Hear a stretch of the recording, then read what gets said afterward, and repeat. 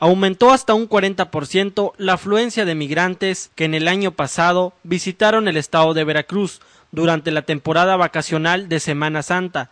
Es por ello que la Dirección General de Atención a Migrantes del Estado refuerza el programa Paisano, el cual comenzó a brindar atención a partir del 12 de marzo al 17 de abril. El programa Paisano, que ahorita ya empezó desde el 12 de marzo al 17 de abril, donde nuestros connacionales van a venir a visitar a diferentes partes de nuestros municipios, a sus familiares en estas vacaciones.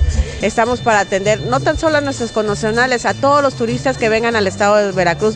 Vimos eh, eh, la campaña de Paisano estuvimos muy atentos y tuvimos un repunte del 48% de familiares que vinieron a visitar. Asimismo, el titular de esta dependencia hizo un llamado a todas aquellas personas que necesiten emigrar a su lugar de origen, que no se dejen engañar por falsas empresas que les ofrecen una mejor calidad de vida, de tal manera que se eviten en mayor manera este tipo de estafa.